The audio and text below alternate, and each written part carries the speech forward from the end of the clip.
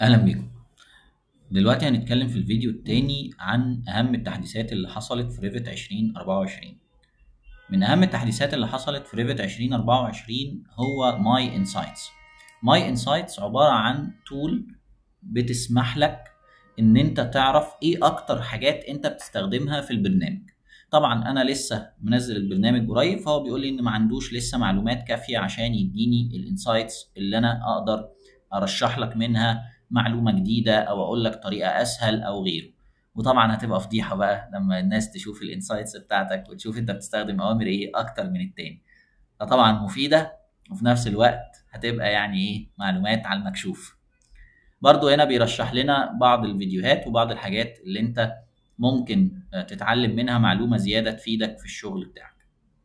من الحاجات الجميلة برضو اللي زادت معانا إن أنت داخل المشروع يعني لو إحنا عملنا open للمشروع هنلاقي إن بقى من حقنا إن إحنا نعمل insert ونعمل link ل coordination model من ال Autodesk Docs.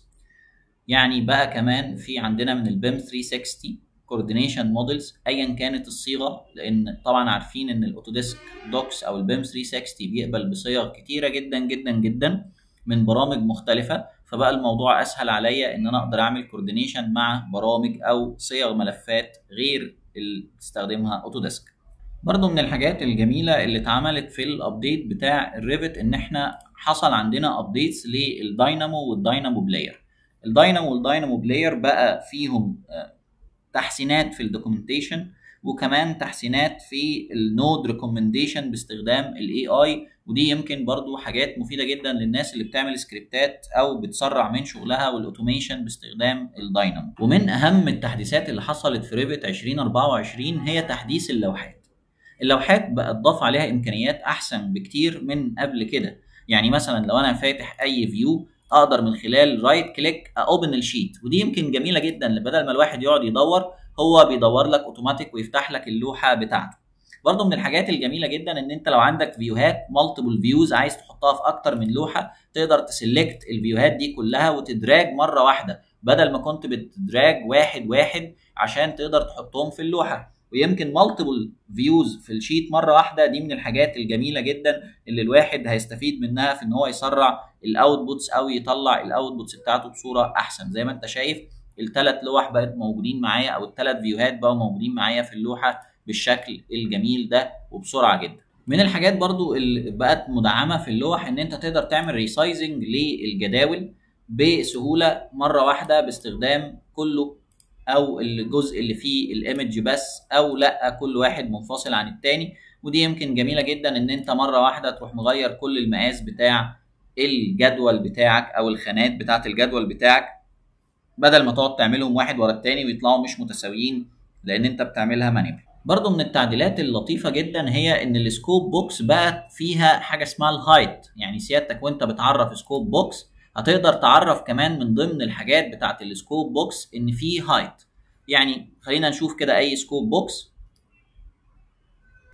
لو سيادتك بصيت على أي scope box من اللي موجودين دول هتلاقي إن بقى في عندنا height يعني كمان أقدر أحدد الارتفاع بتاع ال scope box بحيث إنها ممكن تختلف من دور للتاني لو أنا عندي اختلاف في الأدوار بتاعة المشروع. حجم المشروع بيكبر أو بيصغر وأنا طالع مع ارتفاعات الأدوار. برضو من الحاجات اللطيفة جدا إن بقى عندنا ال parameters بقت بتترتب هنا أبجدي مش بتترتب حسب أنت مدخلها إمتى. ودي يمكن برضو من المشاكل اللي يمكن الناس اللي داست كتير قوي في إدخال ال parameters كانت بتعاني منها إن أنت تلاقي ال parameters اترصت كده بشكل عشوائي لأن أنت دخلت ده وبعدين ده وبعدين ده مش مدخلهم بترتيب زي ما أنت كنت محتاج فكان الموضوع بيبقى رخم جدا. لا دلوقتي ال project properties بترتب ال parameters بالأبجدي ودي يمكن لطيفة جدا جدا.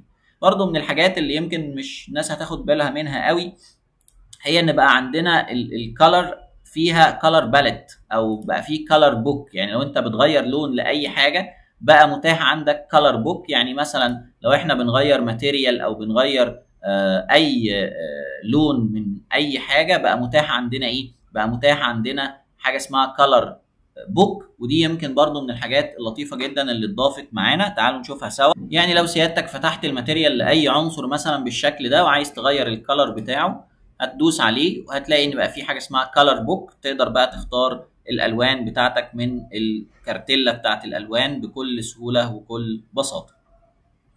ده الفيديو التاني في تعريف updates Revit 2024 هنكمل إن شاء الله بدعمكم فما تنسوش تعملوا like و share و subscribe للفيديو والقناة عشان نكمل معاكم.